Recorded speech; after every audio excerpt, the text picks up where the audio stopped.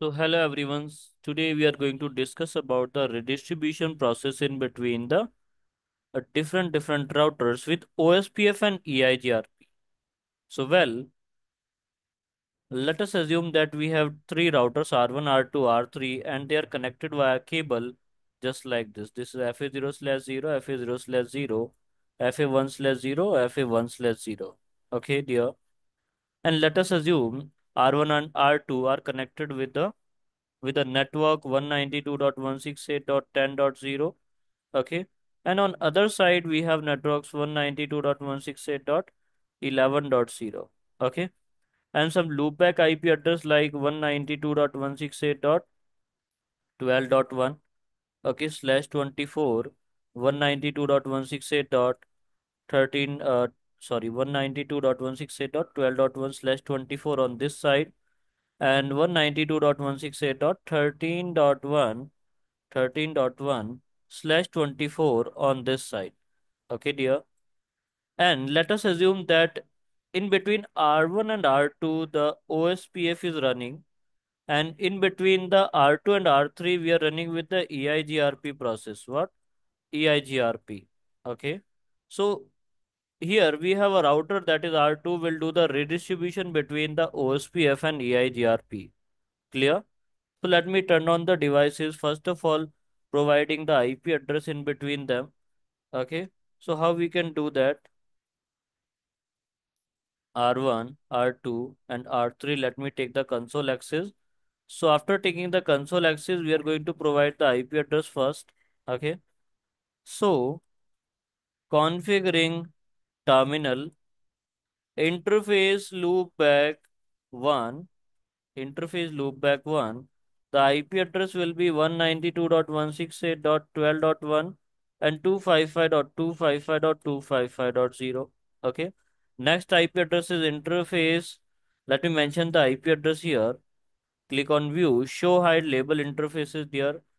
The IP address over here is 192.168.10.1 and on this side this is 192.168.10.2 here we do have an IP address 192.168.11.1 and 192.168.11.2.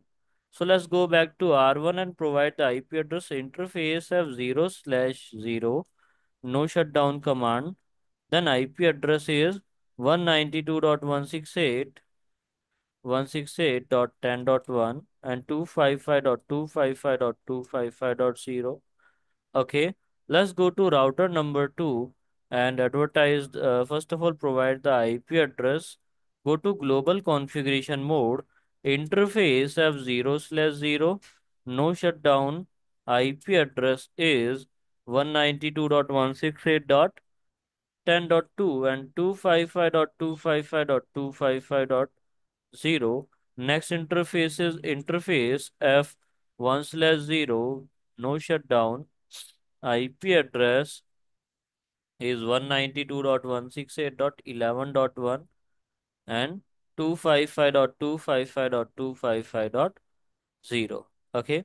Now let's go to router number 3 and provide the IP address. Go to global configuration mode, configuring terminal, interface F1 slash 0, no shutdown. Okay. IP address is 192.168. 11.2 and 255.255.255.0.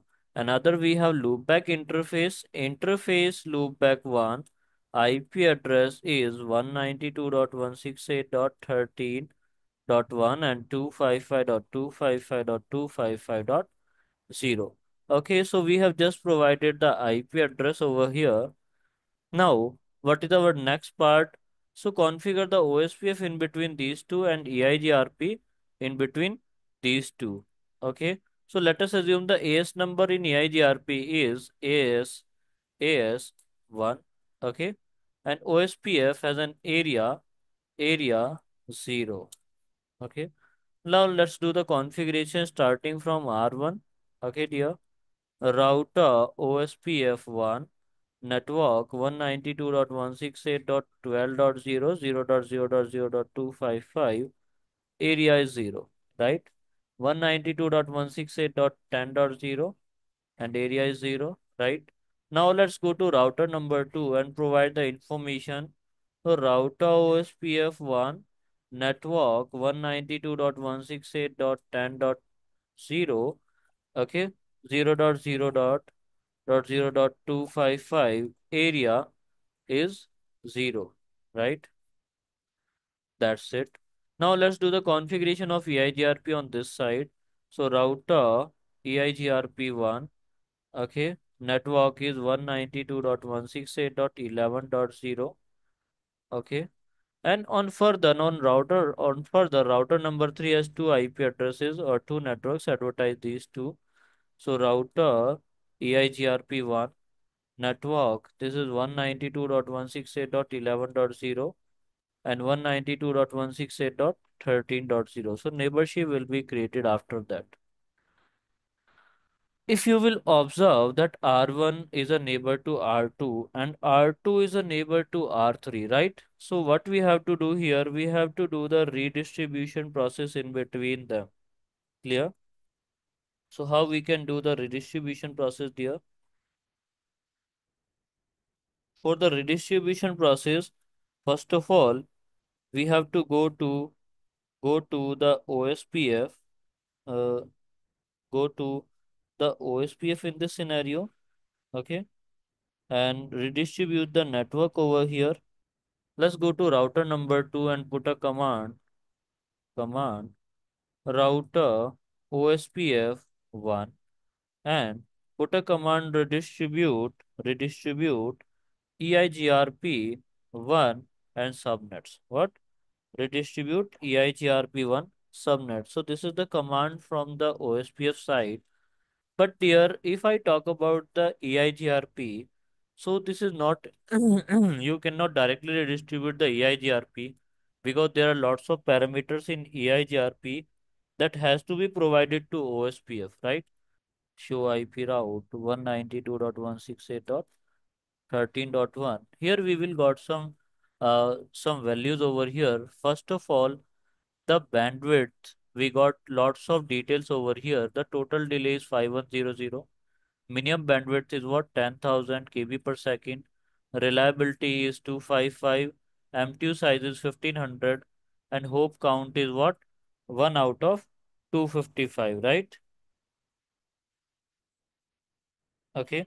So let's advertise all of these values over here. So putting a command configuring configuring terminal. Okay. So router EIGRP1 redistribute redistribute what OSPF 1 with metric value metric value is 10,000 is the bandwidth here 10,000 is the bandwidth and 100 Mbps is the delay.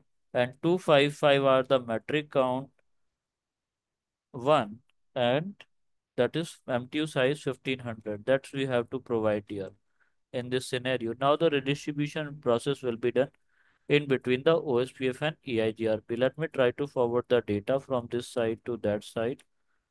Okay, how we can do that? Ping, ping 192.168.13.1. So you can see that the that it is successful, right? So the pinging is successful.